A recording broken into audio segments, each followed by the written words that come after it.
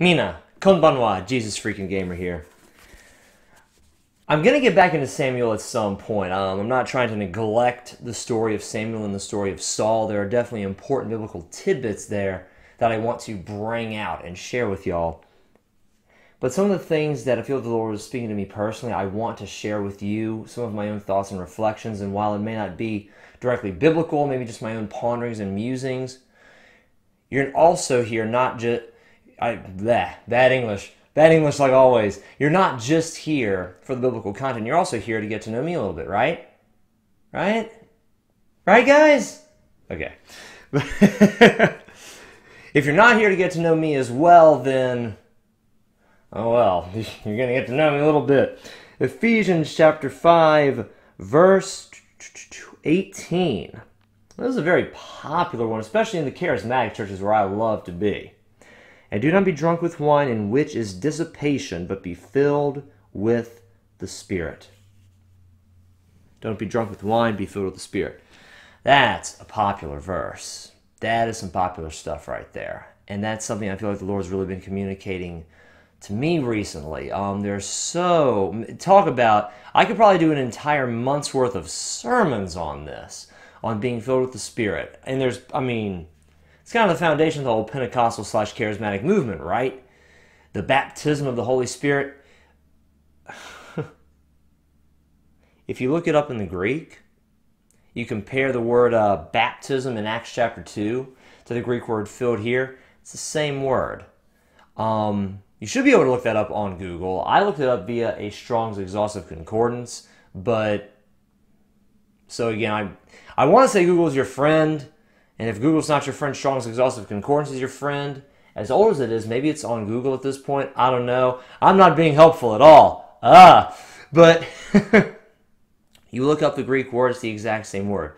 To be baptized or to be filled, it's the exact same word. So the baptism of the Holy Spirit, which is so important to Pentecostal culture and life, it's the same word here.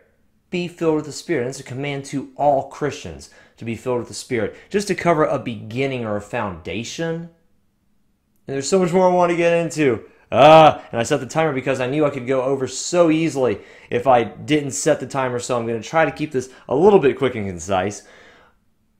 But being filled with the Spirit is a command to every single believer. And I don't care what part of the Christian spectrum you're in, whether you're Lutheran or Methodist or Baptist or Presbyterian, or Pentecostal or holiness or non denominational.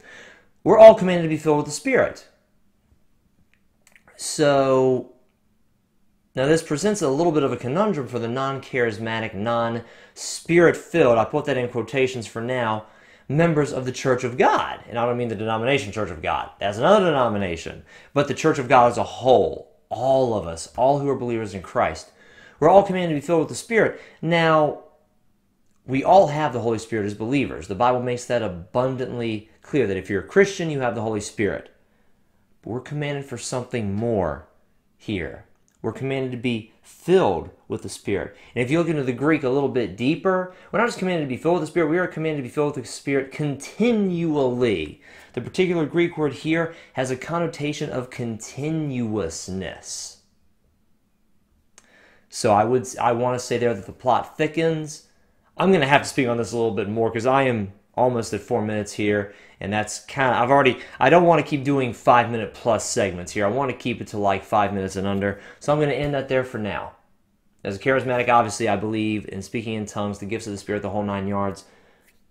But the filling of the Spirit is something that's commanded to to all Christians, something that's supposed to continuously happen. So it's not just enough that we become Christians and get the Holy Spirit. There is something after that. There's something.